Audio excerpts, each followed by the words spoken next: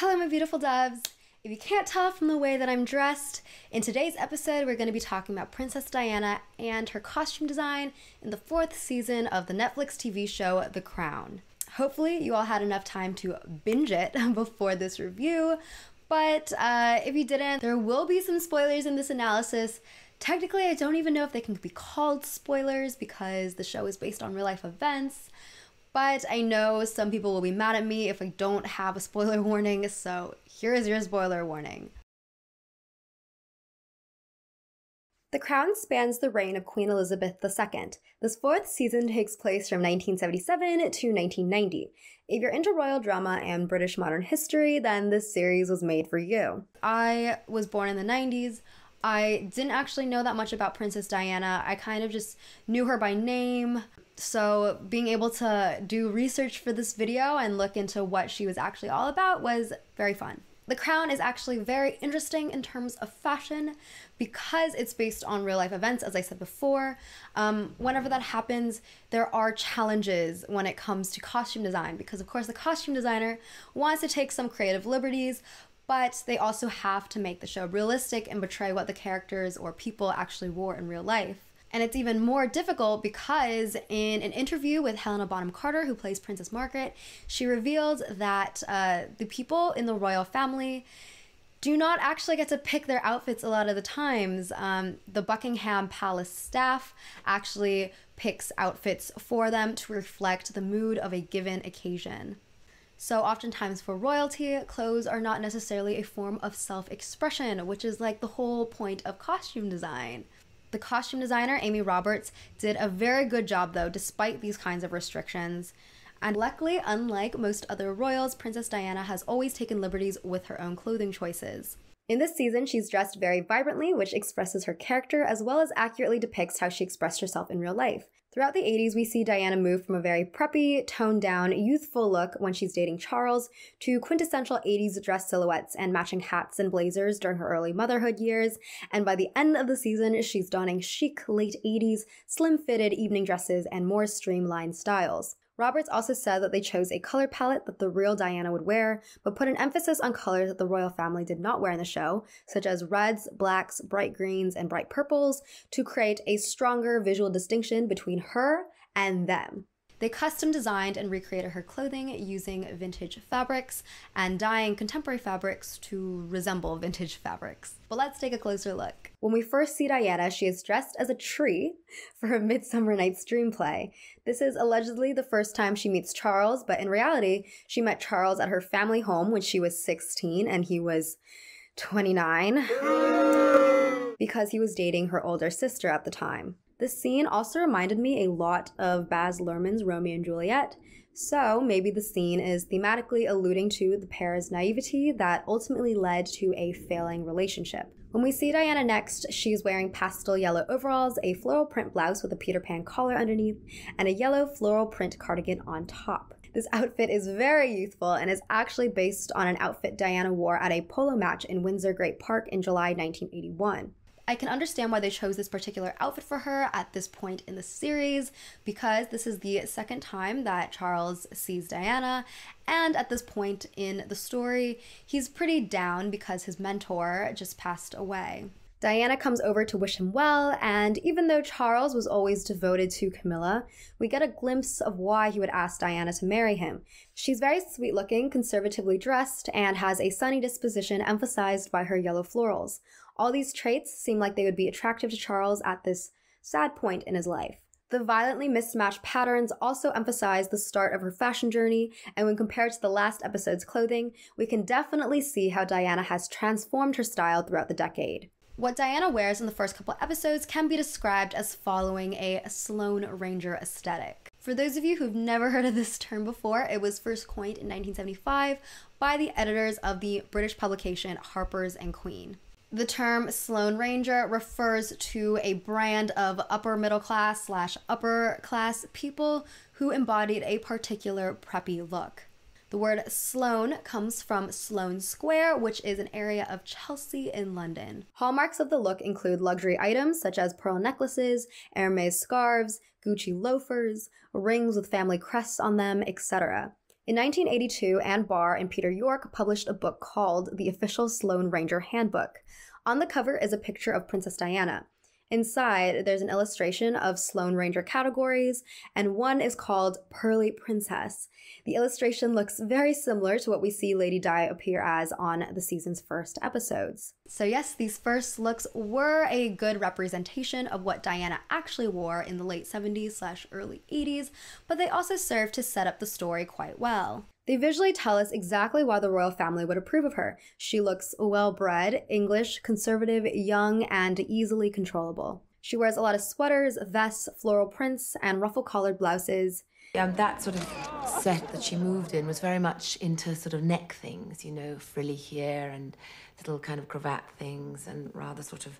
Uh, they we hadn't hit the suits yet because the rest of the very high fashion world was in amongst the Japanese at this point. The dresses that she wears are either peasant style dresses, a trend that was still spilling over from the 70s, or princess gowns. Roberts chose a puff sleeve party dress for this scene when Diana embarrasses herself, not knowing the proper etiquette when it comes to greeting the women of the royal family. The dress is very out of place, as well as being childish in comparison to other women's dresses, to emphasize Princess Diana's awkwardness and naivety. This dress she wears looks to be based on the dress she wears in Auckland, New Zealand in 1983.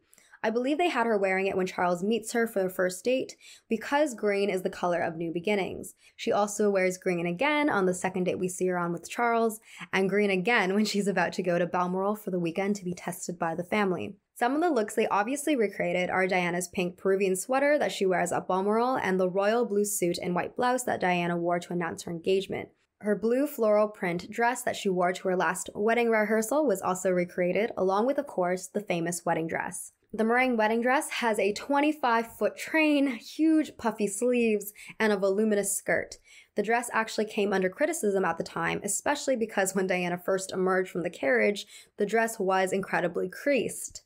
To be fair, it is kind of hard to imagine how they could have stuffed a 25 foot train into a carriage without it having some kind of creasing. But nevertheless, this dress sparked a huge fashion trend of big, poofy sleeved wedding dresses. Exhibit A, let's look at what Ariel is wearing in Disney's 1989 The Little Mermaid. Roberts actually got permission from David and Elizabeth Emanuel, the original designers, for the wedding gown. She consulted with David Emanuel on fabric choices, which was silk taffeta, and he also shared with her copies of the original designs with all that being said, um, despite these moves towards accuracy, he encouraged her to really run with it, have fun with it, and not get too carried away over the small details. The lace used in the gown was also recreated by the son of the lace maker of the original gown. After Diana and Charles married in 1981, they went on an official royal tour through Australia and New Zealand in 1983. This is captured in the show. Roberts made 17 dresses for the tour, even though Diana actually brought 200 ensembles with her. There's a lot of turmoil that occurred on this trip, including a very heated argument between Diana and Charles. And on the same honeymoon, a photograph of her falls out of your diary. And then later in the year, I find your love letters, page after page of the passion I'm not getting from and you. Because you show no interest in me. Eventually, Charles says he loves Diana. Because I love you. Liar! I noticed that the dresses Diana wears immediately after are these vibrant reds and pinks to indicate how she's in love with Charles again, too. She wears this bright blue dress while they go dancing, which was a Bruce Oldfield gown recreation. Frankie Valli is singing, and they look like they're really in love. Robert said that the shade of blue was recalling Disney's 1950 Cinderella to indicate this kind of fairy tale romance and youthfulness. Cinderella's dress, as we know, is not actually blue, but I appreciate the sentiment. The joy unfortunately did not last. The show implies that Charles became very resentful towards Diana because she was getting a lot more public attention than he was. Whilst it's been a great personal victory for Prince Charles, no one can deny it's the Princess of Wales who's truly captured the heart of a nation.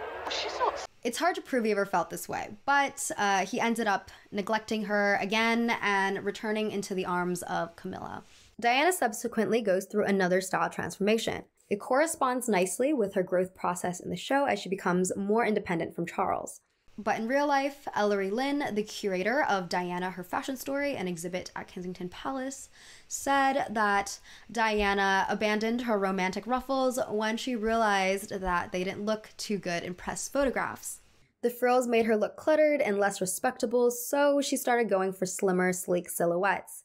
It's also not a coincidence that uh, as the 80s progressed, these silhouettes were more on trend in general. In episode 9, Diana is shown wearing a purple and gold strapless chiffon gown and matching scarf for Charles's birthday gala at the Royal Opera House. It's a 180 from her Princess C overflowing gowns. This design looks to be clearly based on the Catherine Walker ensemble she wore at the Cannes Film Festival in May 1987. It's definitely one of her most memorable looks, so I don't blame the crew one bit for wanting to squeeze in an homage to this number because it doesn't really make any narrative sense to show her going to Cannes in the actual show. Roberts said that director Jessica Hobbs said that she loved how the slightly strangled feeling of the scarf at the neck evokes Diana's inner turmoil. In the last episode, at a dinner in Manhattan, she wears a gold embroidered and pearl embellished oyster satin evening dress with a matching bolero jacket. This is another recreation of a Victor Edelstein ensemble that she wore to the Brooklyn Academy of Music in 1989, though she also wore it before the Elysee Palace in Paris in 1988. Diana had a habit of repeating dresses for multiple occasions, which I personally love. Similar to how the bold colors and patterns in her other dresses disguise her unhappiness, the white dress distracts from what she's actually feeling. He tells everyone I'm mad. They treat me like I'm mad. And I'm starting to feel mad. Why did I agree to this trip? I'm going to fall flat on my face. She's lonely and thinks she's going crazy, but obviously, with this dress on, she appears confident and composed to the public. Her final look is a black dress with these dramatic tuxedo like lapels. This follows a pretty assertive conversation where Prince Philip threatens her to stay in the marriage. I wouldn't do that if I were Why not? Let's just say I can't see it ending well for you. I hope that isn't a threat, sir.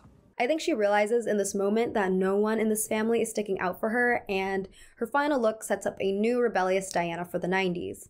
The choice for a black dress is actually very interesting. Of course, black dresses have traditionally been associated with sophistication and maturity, both of which represent Diana pretty well at this point in the story. But also, arguably, Princess Diana's most memorable look of all time is the revenge dress that she wore in 1994 following Charles's public confession about his affair with Camilla. It's called the revenge dress because everyone expected her to be very upset and not want to make any public appearances following the confession.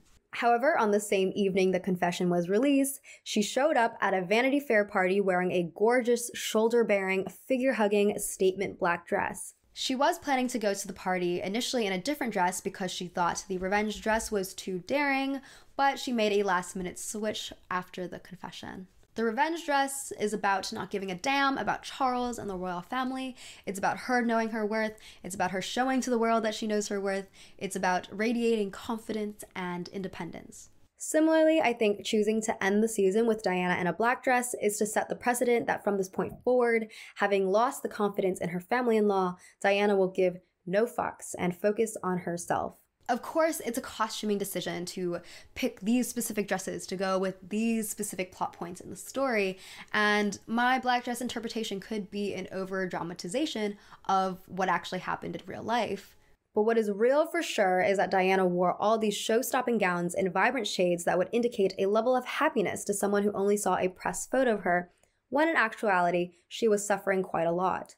One thing that I didn't really think about until I came across this Vanity Fair article that I'll link in the description um, is that Lynn, the curator that I mentioned earlier, said, It is very surprising how little footage there exists of the princess actually speaking. We all have a sense of what we think she was like, and yet so much of it comes from still photographs, and a large part of that idea is communicated through the different clothes that she wore. Lynn said that Princess Diana wore colorful clothes to look approachable and warm. She didn't wear gloves because she liked to hold people's hands. She would sometimes wear chunky jewelry so that children could play with it. And she didn't wear hats to children's hospitals because she said you couldn't cuddle a child in a hat. If she was visiting hospitals for the blind, she would often wear velvet so she would feel warm and tactile. Diana was also very thoughtful when visiting other countries, and she displayed this diplomacy through her fashion choices. On a trip to Saudi Arabia, she wore a dress adorned with gold falcons as a nod to the importance of falconry in the country's traditions. It's unfortunate that the only tours they showed us were the Australia tours and then the US tour, um, very briefly, because some of the outfits Diana actually wore on her tours could have really told the audience more about her and her character and her passion for humanitarian work, which is arguably what she's actually most known for. She's immortalized as a 20th century style icon, but what makes her different is that she actually used her wardrobe primarily as a communicating device. By the 90s, she didn't need the clothing to bring attention to her work anymore. Just before her death in 1997, she actually auctioned off 79 of her evening gowns to raise money for the Royal Marsden Hospital Cancer Fund and the AIDS Crisis Trust. 42,000, 45,000 at $60,000. Are you all done then? She ended up raising $3.25 million, which equates to about $5.3 million in 2020. So, this is the end of this video. I hope you enjoyed it. Thank you all so much for watching. As I said before, I was born in the 90s. I didn't really know anything about Diana until I did some research for this video. My mom, of course, was very excited about it when I told her I was going to do this. And hopefully, if you're my age, your mom is very excited about it too. Thank you all again. I hope you all have a lovely rest of your day, unless you're Prince Charles.